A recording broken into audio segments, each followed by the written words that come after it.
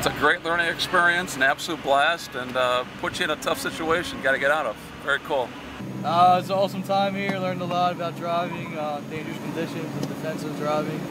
Definitely something I recommend to fellow drivers out there. Learned a lot. Uh, it was a lot of fun, and uh, definitely, if I had the opportunity to do it again, I'd do it again. Best training program I have ever been to. It's, I mean, it's fantastic. You never, you never get a chance to do this until it's too late in the real world. At least you get some experience here before you actually have to apply it when it's a maybe a life or death situation for you or somebody else. We're having a great time. We're uh, keeping it between the cones, uh, which is always a good thing. Having a great time. Great job. This is a fantastic place.